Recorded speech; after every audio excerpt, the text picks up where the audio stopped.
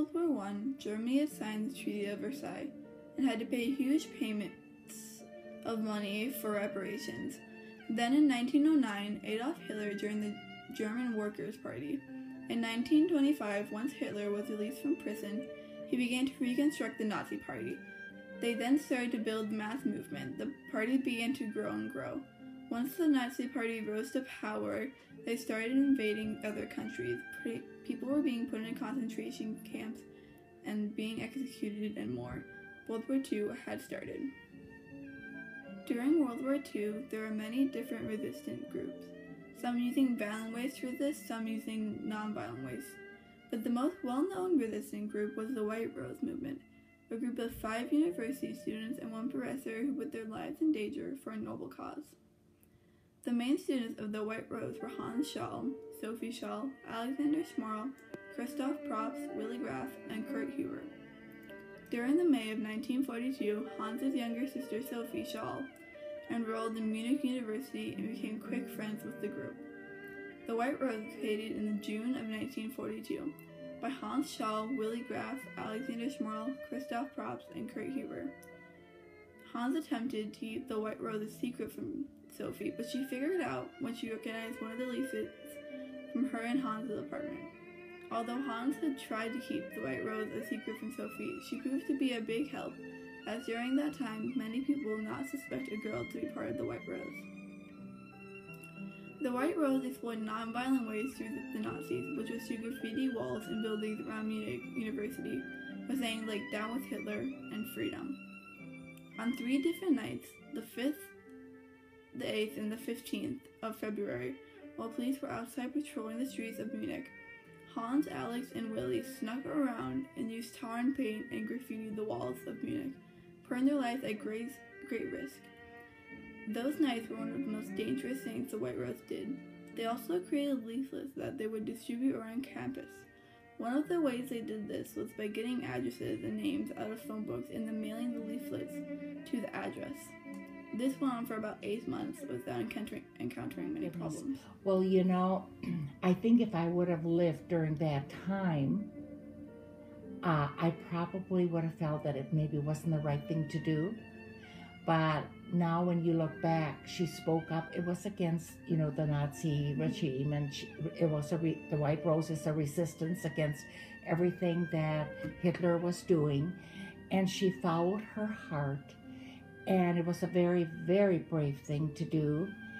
And so I kind of feel that um, I think of her in a very great way. I think she really is a hero for women, for that time especially.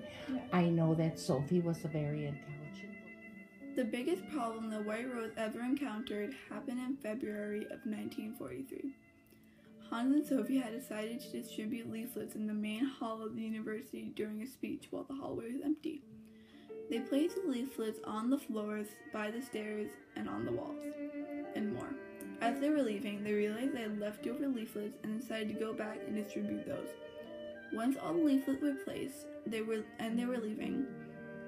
Sophie stopped to throw a pile off of the top of the staircase. The flying leaflets were noticed by a janitor but also a member of the Gestapo. As they were leaving, the students came out of the room where the speech was happening and stopped to see the leaflets. Hans and Sophie were close to making it out when the janitor, who had seen the leaflets Sophie had flung off the stairs, stopped them, and they were when they were arrested.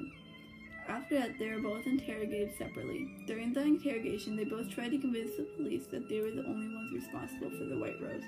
They found an early draft of a leaflet that Hans had attempted to eat. The leaflet was written by Christoph Probst, and he was also found and arrested. Hans and Sophie were questioned for four days. In that time, they were almost released, but then the police discovered that the leaflets fit perfectly into the suitcases they were carrying.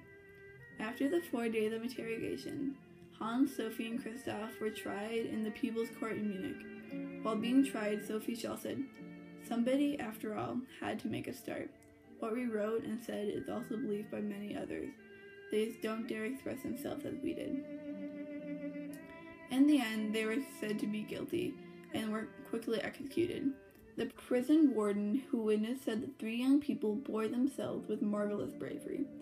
The warden also said, They were let off, the girl first. She went without the flicker of an eyelash.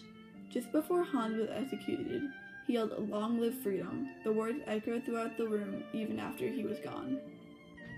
It is such a splendid sunny day, and I have to go. She, the whole uh, prison guards that were in charge of watching over them, uh, they were uh, so very, very impressed because they, they were, if they would have admitted to the fact that they did wrong, they could have probably been, might have been a chance to spare their life. But they, they, that was their cause. They believed in it, and they were willing to give their life for it. And uh, so I just, uh, and and the prison guard that uh, kind of was watching over Sophie was just so overcome. After Hans, Sophie, and Christoph were executed, many more members, including Alex, Alexander Schmorell, Willy Graf, and Kurt Huber, were caught and executed also. The White Rose did not inspire many people like they had hoped, but during the war, the seventh White Rose leaflet was smuggled out of Germany and taken by the Allied army, and then they used the leaflets and dropped them out of planes onto German cities It was worth what they did because they are thought of as heroes right now. Uh, they have, um, in, uh, I went to visit the University of Munich, and in the front they have Wegepasch into the sidewalk, Hans and Sophie, and the other four that were part of this movement. And they're, they're known as heroes now. So I think it was a very good thing, and I think the people respected and what they learned.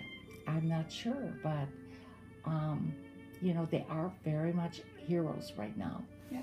Mm-hmm. In modern day Germany, members of the White Rose are now seen as heroes.